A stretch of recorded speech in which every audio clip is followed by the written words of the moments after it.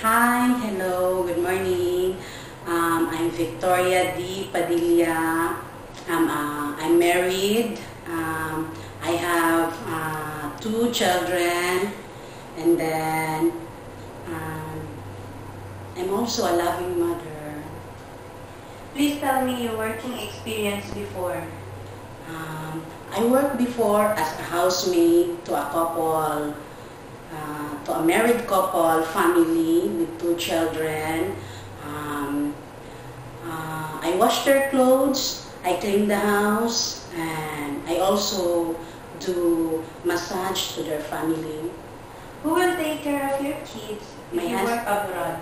My husband, Did you finish your contract there? yes. How do you describe yourself as a mother?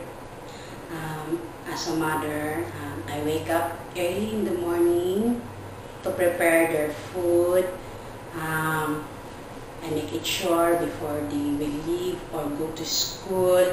Um, make um, uh, they will finish their food. Are you willing to take care of a newborn baby? Yes, Are you willing to take care of elderly? yes. If baby is crying, what will you do? Um, I will find a way to make the baby happy, like singing, dancing.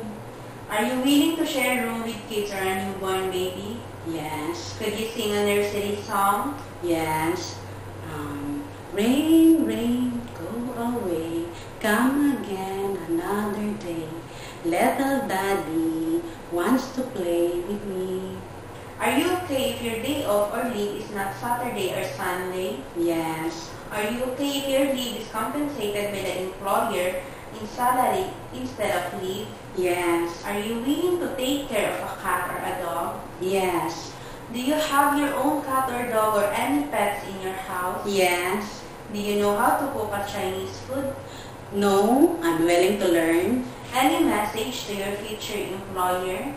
Um, to my future employer, um, as a housemaid, I do my duties and responsibilities um, to follow your rules and regulation. I try my best to be a good housemaid. Thank you.